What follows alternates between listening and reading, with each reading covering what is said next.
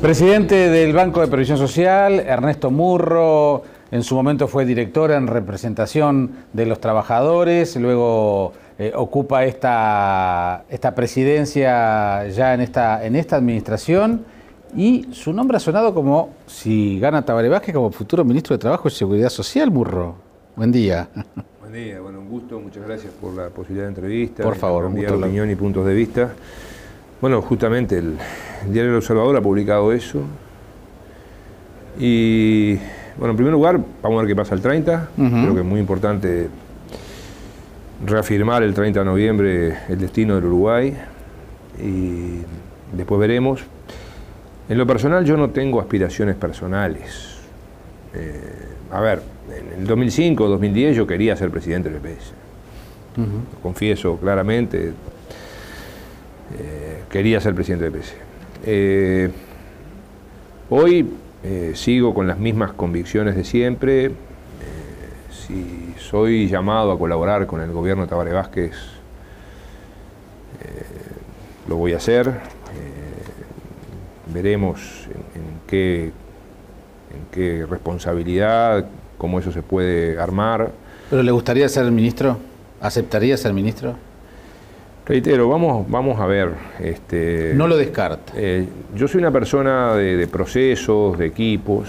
Eh, y bueno, y, toda mi vida he militado por, la izquierda, por, soy de hace 45 años. Y si, si Tabaré me ofrece algo que, yo creo que más o menos puedo hacer algo, eh, me sería muy difícil decirle que no este, pero veremos, veremos. Todavía, falta un tiempo y creo que si así fuera, que eso sería para mí un honor, pero reitero, eh, creo que lo importante es poder eh, hacer procesos, consolidar equipos, contribuir desde el lugar que a uno le toque a la mejora de la calidad de vida, a la justicia social, a la redistribución de la riqueza.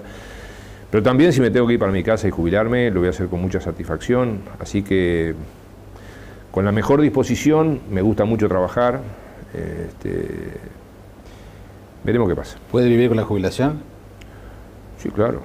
Este, llevamos 10 años de aumento de jubilaciones como nunca en la historia del Uruguay. Este, ahora, en enero vamos a tener otro aumento importante. Este,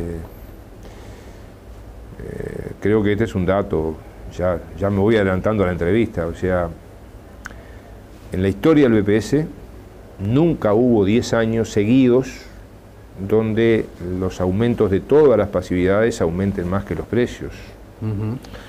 Estamos estimando ahora para, para, el próximo ajuste de enero un 11,5% como base. Eso va a estar significando unos 3 puntos por encima de la inflación nuevamente. Y esto es muy buena cosa para la gente. Esto es gracias a los consejos de salarios, gracias a que se aumenta el salario mínimo. ¿Y cómo se financia el BPS? Porque también durante muchos años escuchamos que era deficitario, que era una especie de barril sin fondo el Banco de Previsión Social. Este, y bueno, ¿cómo, ¿cómo se arregló esa situación? La situación del, del BPS hoy financieramente también es la mejor situación financiera de su historia. Entonces alguien puede preguntar cómo es que si las pasividades han aumentado como nunca, y, deben seguir mejorando, aclarémoslo, deben seguir mejorando, eh, ¿cómo es que si las pasividades aumentaron como nunca? A eso le podemos agregar que nunca hubo tantos jubilados en Uruguay, o sea, nosotros en estos años después de la ley del 2009, que fue una ley que de alguna manera destapó una situación crítica que viene en el país de 50.000 personas que no se podían jubilar, que son los, nuevos jubilados que tenemos en este tiempo. Se han incorporado 50.000 nuevos jubilados, en particular gente del interior, en particular mujeres. ¿Por que qué no se podían jubilar? Y porque Uruguay, desde la ley del año 95, eh, se transformó en uno de los países del mundo que más exigencias tenía para jubilarse. O sea, Uruguay era de los pocos países del mundo, y cuando digo los pocos me sobran los dedos de la mano, que exigía 35 años de trabajo para jubilarse y aumentó la edad de las mujeres, esto estoy hablando de 1995 con la ley de reforma de la seguridad social, y eso hizo que el Uruguay se, abriera una brecha. porque teníamos felizmente un mayor envejecimiento de la población, pero menos personas jubiladas porque la gente no llegaba a cumplir los requisitos. Y esto se empieza a corregir con la ley que promovimos a partir del Diálogo Nacional en Seguridad Social en 2009, que hace que tengamos 50.000 jubilados más. Ahí se baja de 35 a 30 los años de trabajo, se flexibilizan las edades y años de trabajo para acceder a la jubilación. Hasta ese momento la gente se jubilaba con 60 de edad y 35 de trabajo o 70 años de edad y 15 de trabajo. Y en el medio nada, ahí se va la, la injusticia, una persona con 66 años de edad y 33 de trabajo no se podía jubilar, tenía que esperar hasta los 70. Bueno, ahí se hicieron una serie de flexibilizaciones y lo otro que se agregó, que es muy importante, es el reconocimiento del año de trabajo por hijo a las mujeres. 50.000 mujeres se han amparado a este nuevo beneficio desde el año 2009 y o se han jubilado, que antes no se podían jubilar, o han mejorado su jubilación. Recordemos, una mujer antes tenía que trabajar 35 años. Ahora una mujer que tenga dos hijos, con 28 y dos hijos, se jubila. Entonces, se le, redujo en 7. Y, y, en el caso de las mujeres hay que tenerlo en cuenta porque históricamente, pese a las mejoras que se han dado en el país, a la mujer es a quien menos se le respetan sus derechos laborales y de seguridad social, por lo tanto es quienes tienen menos años registrados, aunque hayan trabajado, y además la mujer muchas veces pierde años de trabajo porque, pese a también a lo que se ha avanzado, la mujer sigue siendo hoy quien principalmente se encarga del cuidado de los enfermos, del cuidado de los niños, del cuidado de las personas con discapacidad, del cuidado de los abuelos. Entonces, bueno, esta ley ayudó a eso. Bien, y todo ese panorama, y todo ese panorama el financiamiento. Claro, y todo ese panorama alguien va a decir, bueno, entonces, pero si, si hay más jubilados, si las jubilaciones están en, en, su mejor momento de poder adquisitivo, entonces el BPS está mal. Bueno, está peor. Está, está peor. estaba peor. Y bueno, no, felizmente esto no es así. ¿Por esto, qué? Y esto, adelanto el titular y ahora lo explicamos, el BPS está en la mejor situación financiera de su historia. ¿Y esto por qué se logra? Porque hay un proceso notable del cual todos los uruguayos somos constructores de esto, eh, que es la masiva incorporación de trabajadores y empresas a la formalización. Uruguay, desde que yo soy chico, Jaime, somos 3 millones y pico. Pero sin embargo, en estos 10 años incorporamos más de 500.000 personas a la seguridad social. En las próximas semanas está viniendo una misión del gobierno de Estados Unidos a ver cómo hicimos esto. Cómo un país de 3 millones de habitantes incorpora en 10 años más de 500.000 personas a la seguridad social. Incorporamos 65.000 empresas nuevas a la seguridad social. Hoy el BPS tiene registradas 265.000 eh, 265 empresas y tiene casi un millón y medio de puestos cotizantes. ¿Cuánto ayudó en esto el cruce de información con la DGI y que haya menos trabajadores y empresas en negro? Eso ayuda y ayuda en muchas cosas, porque ayudó eso. Eh, Digo, eso fue fundamental, ¿no? Eso porque... fue fundamental. Ayudan las leyes que promovimos. Eh, por ejemplo, la ley de refinanciación del 2016, ahora renovada en este año 2014. Esa ley del 2006 permitió que ni más ni menos que 50.000 empresas y 400.000 trabajadores, gracias a que dimos posibilidades de refinanciar deudas que tenían las empresas, eh, se hayan incorporado a la seguridad social. 50.000 empresas, 400.000 trabajadores que recuperaron total o parcialmente sus derechos de seguridad social para ellos y para su familia. Y esto es muy importante, porque eso también indica un país que no perdona deudas. Nosotros no somos partidarios de las amnistías ni los perdones de deudas, como se hace en otros países. Como se hace en la intendencia. Sino que lo, que lo, lo que facilitamos es que la gente pueda pagar en mejores condiciones. ¿Está bien? Y esto es muy buena. Muy o buena sea, arman planes de, planes de pago. Este, ajustados a la realidad de esas empresas. Eh, y a esto hay que agregar otra serie de normas que se han ido aplicando eh, que han tenido un impacto muy interesante, que es sectores específicos que lo fuimos incorporando al régimen general. Por ejemplo, los trabajadores del TURF. Estaban hace años, pero ¿qué se hizo ahora en acuerdo con el Ministerio de Economía y la Dirección de Casinos, que es quien regula el TURF? Que bueno, que por ejemplo por, por cada cinco caballos debe haber un peón registrado. Que por cada 15 caballos debe haber un capataz. Habría alta informalidad en ese sector, ¿no? bien? Que se pagan los premios, los premios de ganada y los premios de perdida.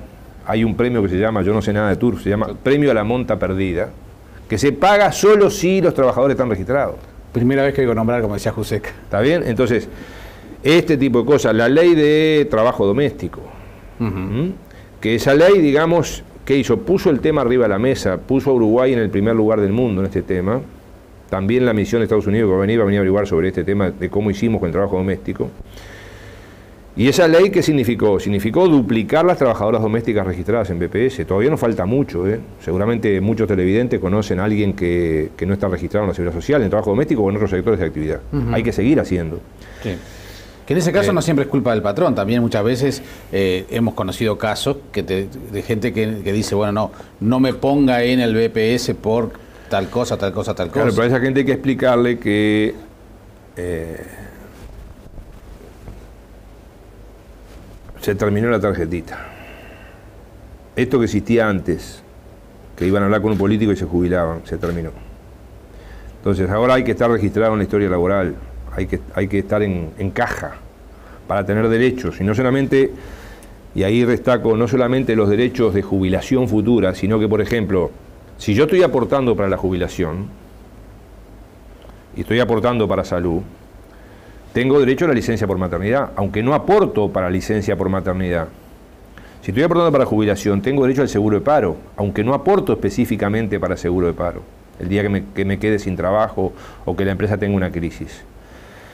Eh, si me enfermo, a tener licencia por, enfermedad, pero eso lo hago si estoy aportando para jubilación. Esta interrelación entre la prestación a largo plazo, que es la jubilación o la pensión, y la prestación a corto plazo, que es el seguro de paro, la licencia por maternidad, eh, todo esto también es una fortaleza del sistema. Como ha sido una fortaleza del sistema que la reforma del sistema de salud, una de las grandes reformas que se han hecho en este gobierno y que tiene al BPS como principal administrador,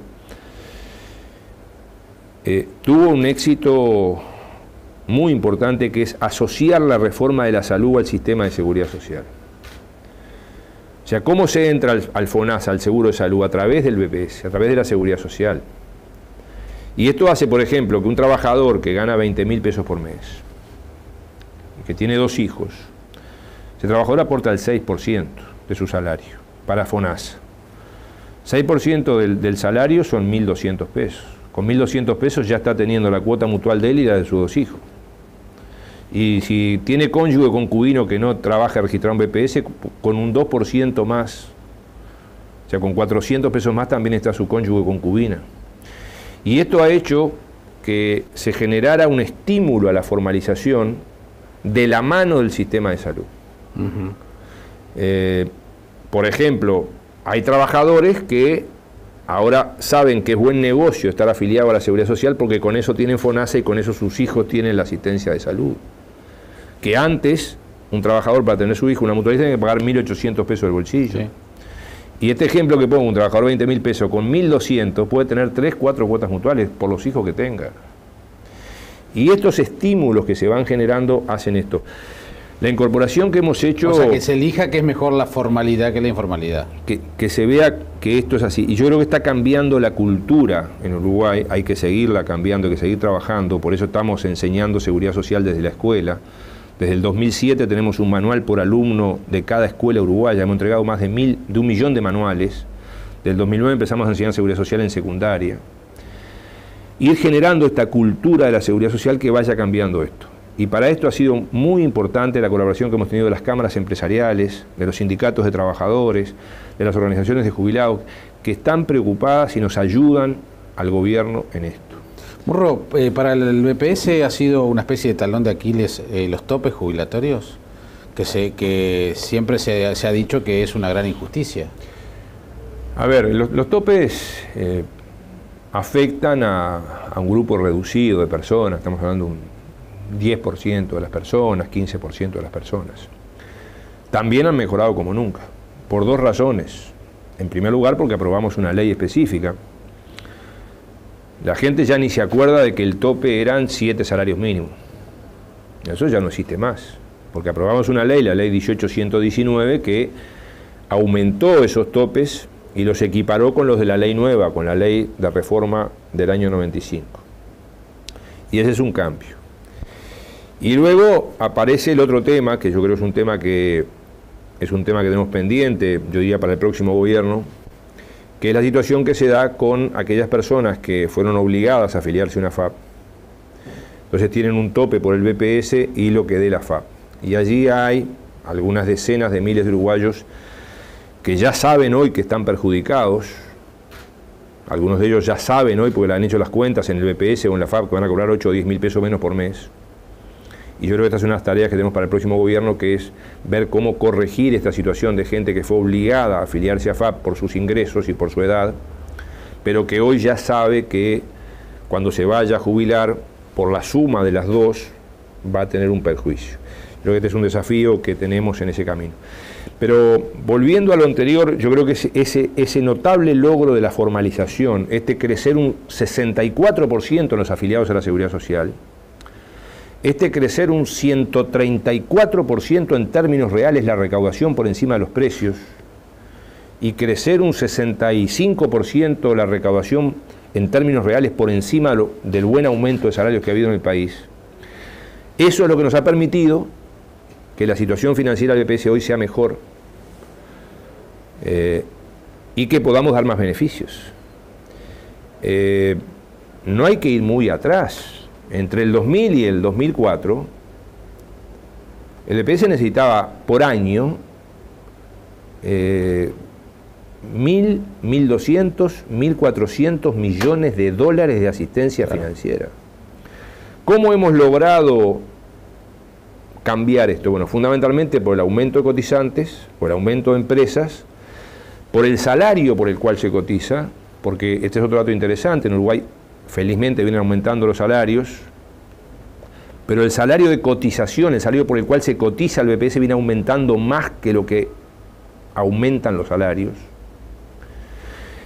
Y esto está dando estos resultados. Eh, ¿Hoy no hay asistencia?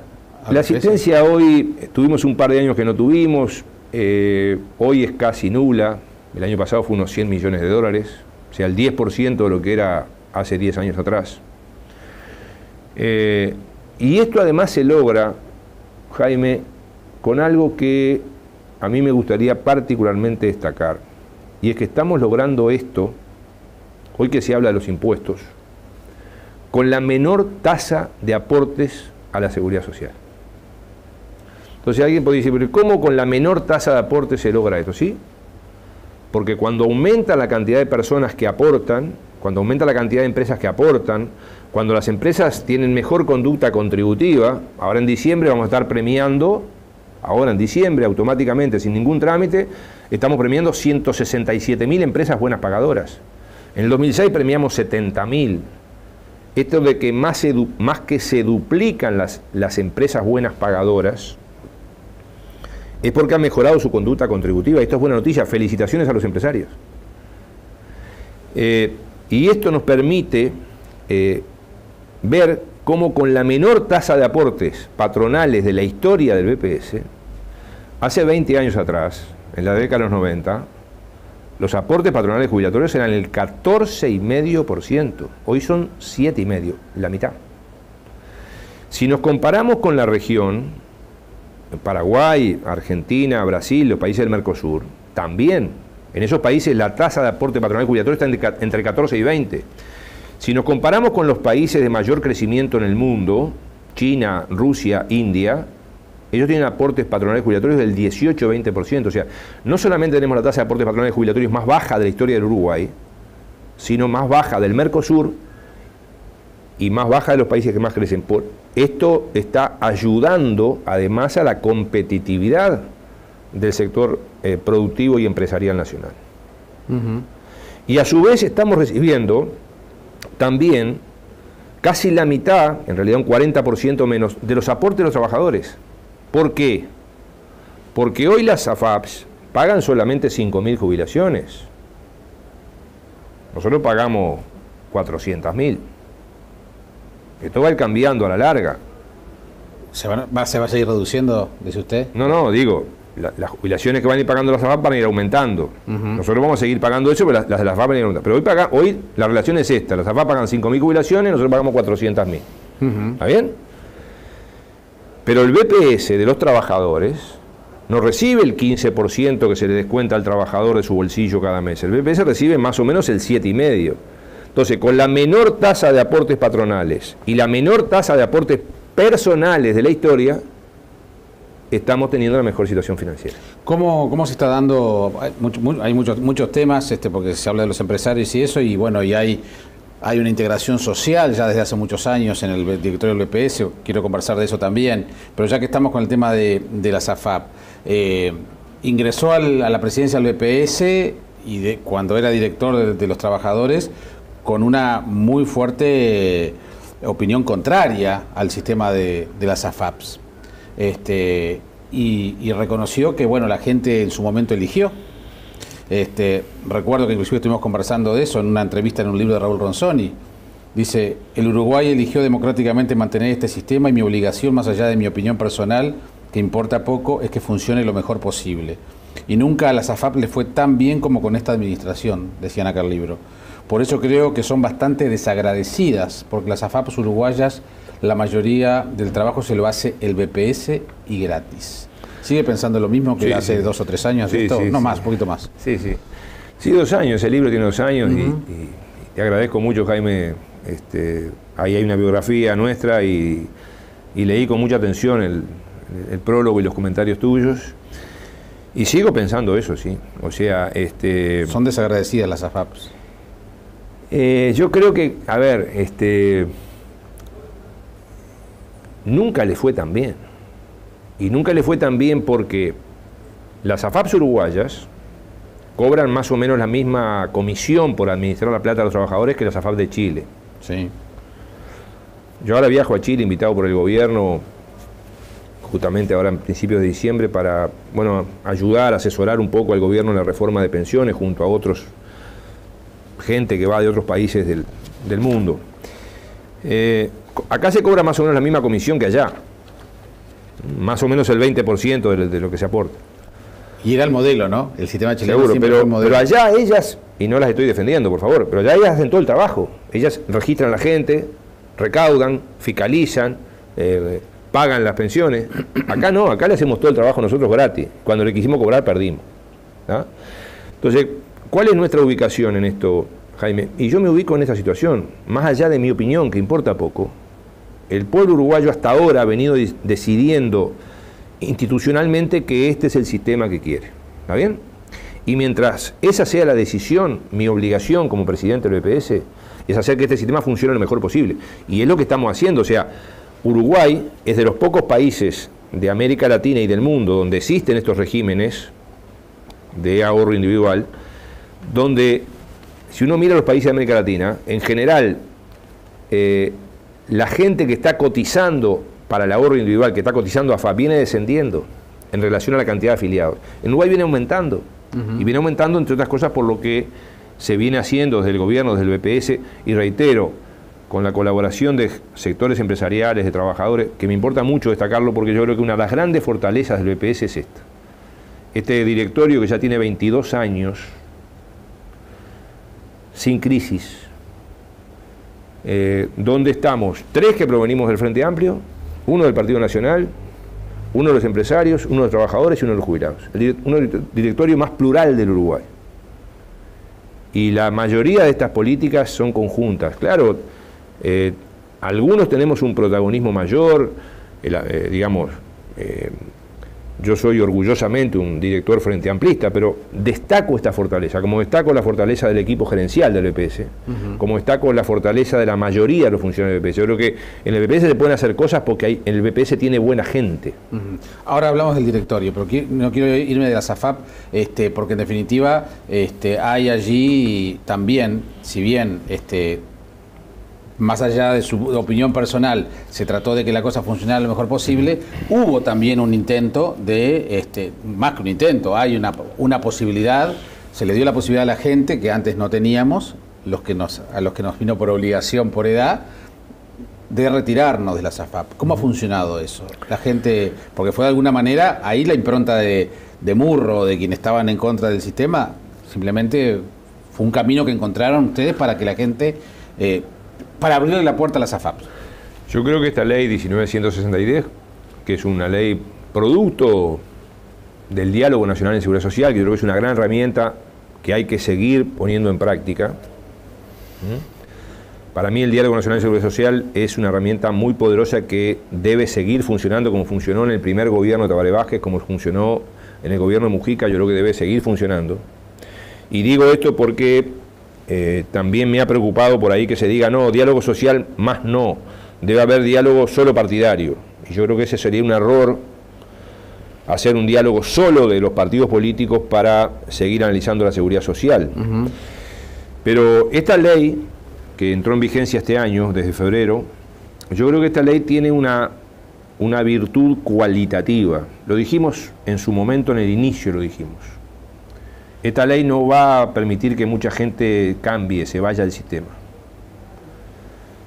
Pero esta ley va a servir, primero porque es la primera ley que permite esto, antes se había hecho por decretos, y muchos decretos que además en general aparecían siempre en periodos postelectorales eh, y, y, muchas veces eran decretos con nombre y apellido para colectivos muy acotados. Esta ley lo que hace es abrir la discusión. Entonces, por ejemplo, lo primero, y acá voy a hacer un reconocimiento a las AFAPs. Las AFAP han reconocido la profesionalidad, la objetividad y la transparencia con la cual el BPS trabajó en este tema. Y digo esto porque cuando se aprobó esta ley, se dijo y está escrito que el BPS no podía ser objetivo, no podía ser imparcial, no podía hacer este trabajo. No podía ser juez y parte. Que no podía ser juez y parte. Hemos sido actores fundamentales, no hay una sola crítica y destaco el reconocimiento que hemos tenido de las cuatro AFAPs en cuanto, y de la gente además, que lo más importa, en cuanto a cómo actuó el BPS. Se le dio asesoramiento escrito, firmado a la gente, con dos o tres escenarios de lo que podía pasar. Yo espero que aquellos que dijeron que el BPS iba a actuar mal se corrijan y digan que se equivocaron. Todavía no lo han dicho. La otra cosa que ha demostrado esta ley, ha demostrado esta ley que había cosas que había que corregir. Por ejemplo, esta ley, eh, cuando uno le hace las cuentas a la gente, nosotros hemos asesorado a esta altura unas 30.000 personas, Toda esa gente se llevó, reitero, papeles escritos, confirmados por el funcionario de cuáles eran las posibilidades que tenía futuro. Y cuando la gente ve que, por ejemplo, que le conviene quedarse en los dos lados, que le conviene quedarse en BPS y AFAP, la gente dice, ah, pero me conviene quedarme por lo que me paga el BPS. Porque el BPS está pagando el 70, 75, 80% de la futura jubilación. Y la AFAP están pagando de la futura jubilación solamente el 15, 20, 25, 30%. El, país y, esto, y esto la gente, a ver, la gente esto no lo sabía. ¿El, país se sostendría con, con un, hoy con el sistema sin AFAPS? A ver, este es el sistema... ¿Es posible imaginar hoy el país... Jaime, yo te, agradecería, si, si, si me, si la pregunta en unos minutos cuando termine de explicar esto, porque creo que, es bien importante la pregunta. Pero sigo, esta es una, demostración, la gente está dando cuenta a, los que le conviene quedarse en el régimen mixto, les conviene no por lo que pagan las AFAP, que hoy están pagando promedio 5 mil pesos de jubilación, solo 5 mil pesos de jubilación, están pagando las AFAP solas, que les conviene quedarse por lo que paga BPS. Y eso les conviene porque el BPS, por la ley, si una persona que no está obligada a afiliarse a una FAP se afilia, por ley el BPS le paga el 50% más de jubilación de lo que debería pagarle. Por tanto, este es un costo para el Estado, que solidariamente paga la sociedad. Segunda cosa que esta ley detecta, pone arriba de la mesa, la importancia del cobro de las comisiones. Hay cuatro AFAP en Uruguay. Hay, hay, hay AFAP que cobran más comisiones que otras. Bueno, un punto de diferencia en la comisión que cobran por administrar el dinero de los trabajadores, un punto en promedio en general significa 8 puntos menos en la jubilación. Esto es plata para la gente. Bueno, ahora ¿qué previó esta ley? Esta ley previó que los nuevos afiliados de oficio van a ir a la FAP que cobre menos comisión, buscando beneficiar a los trabajadores. Otra cosa que dijimos en su momento, y que esta ley también corrige, esta ley crea dos fondos. Un fondo hasta los 55 años del afiliado y un fondo después de los 55 años. ¿Por qué? por lo que decíamos antes, lo que dijimos hace muchos años, miren, es muy perjudicial si el año que la persona se va a jubilar, los fondos caen, como ha pasado. Llevamos años de rentabilidad negativa. ¿eh? Eso, antes se decía pérdida, ahora se dice rentabilidad negativa. Eh, entonces, este fondo que se ha creado, que ya está dando sus resultados, es un fondo más seguro para que en los últimos años de aporte de los trabajadores tengan menos riesgos de perder o tengan mejores posibilidades de tener una jubilación algo mejor por la parte de AFAP. Entonces yo creo que todas estas cosas están mostrando que hay cosas que corregir y yo creo que hay que seguir corrigiendo, como lo que conversábamos antes, de que en mi opinión hay que atender a unas 40.000 personas que entraron, que fueron afiliados obligados, gente que gana 50, 60 mil, 70 mil pesos por mes, que fue obligada a ser afiliada y que hoy ya sabe que si se va a jubilar por el régimen mixto, pierde 8 o 10 mil pesos de jubilación si solo se jubilara por BPS. Y ahora voy a la pregunta. Yo creo que, y esto es importante y quizá nosotros en su momento no lo explicamos bien, Jaime, nosotros nunca pensamos que el sistema debía ser solamente un sistema público de reparto. Siempre planteamos un régimen mixto, planteamos otro. El que tiene Uruguay hoy es este. Y por tanto, este es el sistema que yo tengo que administrar y este sistema debe funcionar lo mejor posible. Perfecto. ¿Está bien? Está claro. Entonces, no hay que comparar este sistema con el viejo, porque el viejo era malo. El viejo era muy malo. ¿Está bien? Esta es mi respuesta Ah, ahora, está luego claro. de la conversación. Eh, brevemente, porque ya nos ha ido mucho el tiempo. eh, ¿El Frente Amplio está manejando la posibilidad de aumentar la edad de retiro jubilatorio? Que se ha mencionado en la campaña. A ver, yo este, suponiendo que esta pregunta venía, traje, lo, traje algunos Me documentos. parece muy bien. Eh, Agradezco. el- acá la- los, las edades se han aumentado durante gobiernos blancos y colorados. Las edades jubilatorias se aumentaron, por ejemplo, la última que se aumentaron fue la ley del 96, que de un día para el otro se aumentó de 30 a 35 los años de trabajo y gradualmente se aumentó de 55 a 60 la edad de la mujer. Yo estuve leyendo el programa del Frente Amplio, estuve leyendo el programa del Partido Nacional. Y lo que dice, este, en el caso del programa del Frente Amplio, eh, que tengo acá, dice así, leo textual, sociedad en proceso de envejecimiento, debe preverse con tiempo, en el mediano y largo plazo, o sea, no ahora, Analizar medidas que comiencen por una alteración muy gradual de las edades de retiro, evitando situaciones que puedan generar políticas de shock. Shock fue lo del 95, cuando se aumentó, reitero, de 55 a 60 la edad de las mujeres y se bajó de 30 y se aumentó de 30 a 35 los años de trabajo.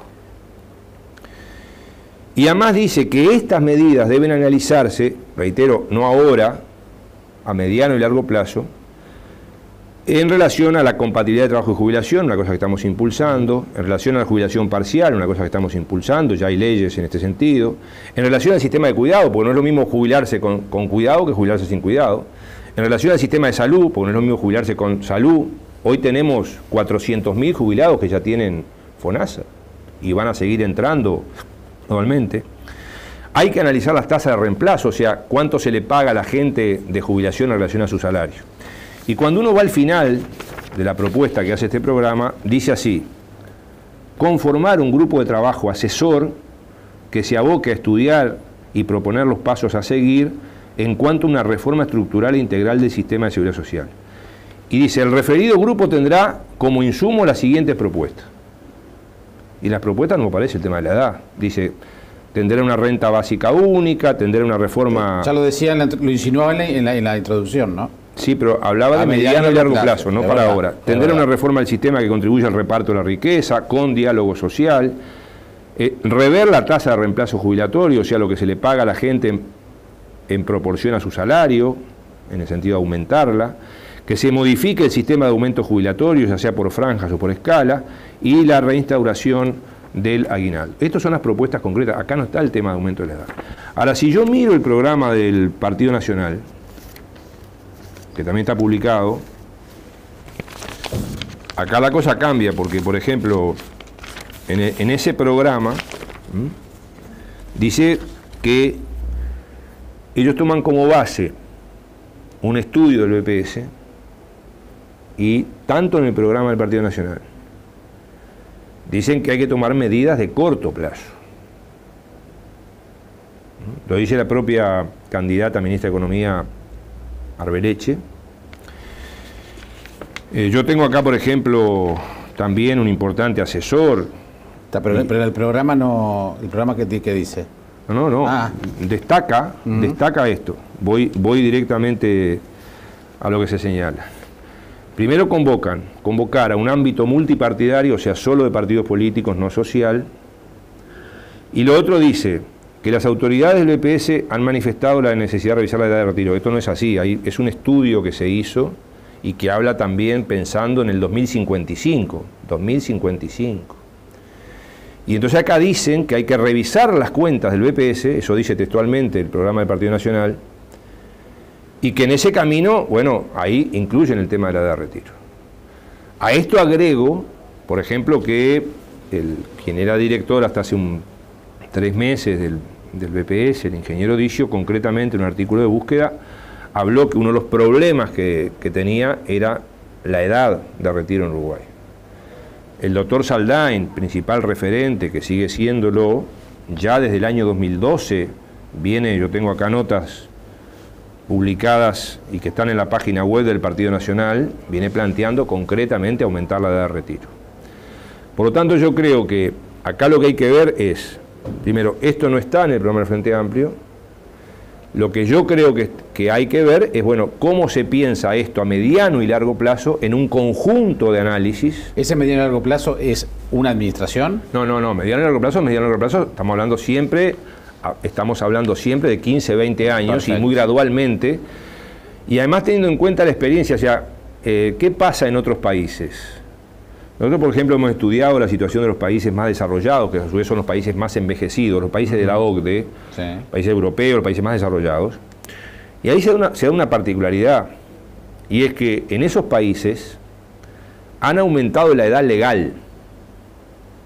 O sea, dicen una ley, hay que aumentar la edad legal, y la aumentan a 63, 65, 67, pero después en los hechos la edad real baja. En los últimos 40 años medidos entre 1970 y 2010, esos países aumentaron la edad legal, pero la edad efectiva bajó. Bueno, en eso Uruguay además tiene una fortaleza, porque en Uruguay la edad legal es 60 años, pero la edad real es 63. Por tanto, ahí tenemos una fortaleza de que no nos lleva a tener que aumentar la edad ahora, ni en los próximos años. Y yo creo que eso a lo que nos lleva es a ver en conjunto, como dije, una cantidad de cosas a la vez no ver la edad solo, sino ver una cantidad de cosas a la vez y verla a mediano y largo plazo, qué es lo que hay que hacer. Eh, brevemente, el tema de las cajas, las diferentes cajas, eh, ¿sigue siendo un problema para el tema de la seguridad social, para el retiro? ¿Cómo mira el BPS ese, ámbito? Bueno, eso está más bien en la órbita del Poder Ejecutivo, el Ministerio de Trabajo, el Ministerio de Economía. Hace, al, sistema de seguridad social. Yo creo que ha habido un avance importante en la caja policial, en la reforma del sistema de caja policial y en la gestión el BPS le prestó a Caja Policial su modelo de gestión en estos años, llegando ahora a 2009-2010, y, y, yo creo que la reforma del sistema de Caja Policial, por ley, y la mejora de gestión en simultáneo, nosotros somos partidarios de esto, de esta simultaneidad de reformar el sistema y la gestión, porque a veces podemos hacer leyes muy buenas que después no, no se pueden aplicar. Ese es un muy buen ejemplo de cómo continuar el camino. Cuando prestamos el sistema de gestión del BPS para caja policial, Ah, bueno, nos encontramos con niños de 60 años que cobraban asignaciones familiares.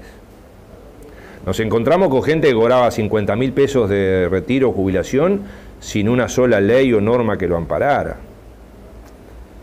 Entonces, bueno, yo creo que el camino de caja policial es un buen camino para pensar en las reformas de las otras cajas, con diálogo, el diálogo debe ser siempre básico para la reforma de seguridad social, con políticas de Estado, pensando en que todas las partes participen de eso.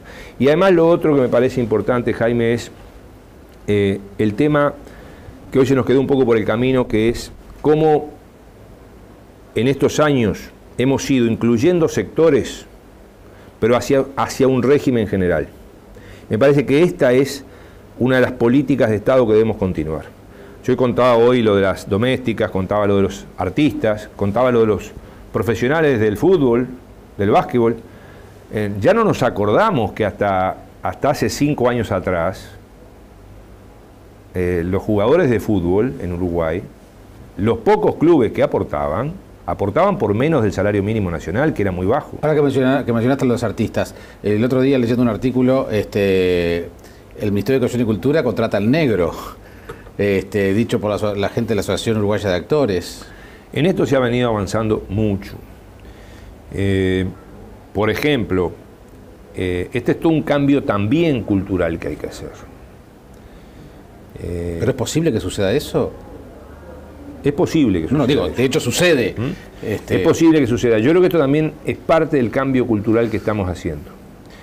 Yo tuve una satisfacción muy grande hace pocos días, cuando la Intendencia de Montevideo hizo un llamado público para los puestos callejeros que van a estar en las fiestas tradicionales en la Avenida 8 de Octubre, y para inscribirse, para ver si, si le toca o no tener un puesto callejero en las fiestas tradicionales de 8 de octubre en Montevideo, antes tiene que estar registrado un BPS. Un cambio sustantivo. Eh, se ha creado una cooperativa y un servicio de, artistas que proporciona a estos artistas. Yo creo que es, es un cambio también cualitativo. Estos sectores van progresando gradualmente. Y creo que además... Pero el BPS no controla que, el MEC... Este, claro que controlamos. Y claro que sancionamos. Sea una empresa pública o sea una empresa privada. Claro que lo hacemos. ¿Mm? Claro que lo hacemos. Es nuestra obligación tratar igual al almacenero de la esquina que a la gran empresa privada o a la empresa pública que tiene este tipo de eh, actitudes.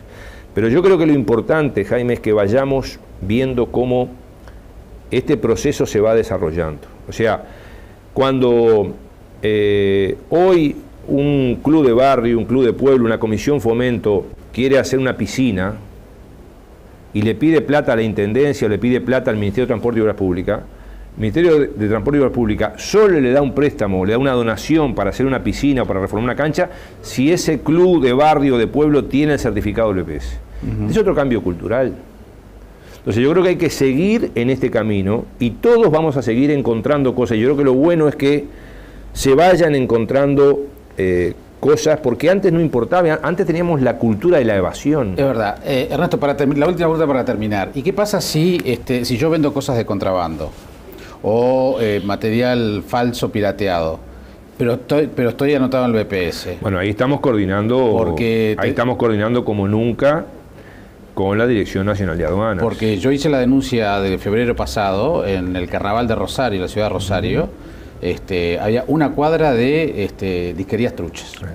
Y, este, y cuando quise hablar con los organizadores, que era la propia Intendencia y la Alcaldía de Rosario, me dijeron, no nos importa lo que vendan, lo importante es que estén bien con el BPS. Esta es una... No, no, importan las dos cosas. Estamos no, no, pero esa es la respuesta que me dieron. no, está bien, bueno, pero esa, es la respuesta de ellos, pero estamos trabajando muy bien, hay que seguir trabajando, hay que seguir mejorando con, aduanas. Eh, por ejemplo, este, estamos encarando conjuntamente con aduana y con DGI el famoso tema del baga shopping de salto, como nunca se había encarado, estamos progresando, hay que seguir progresando.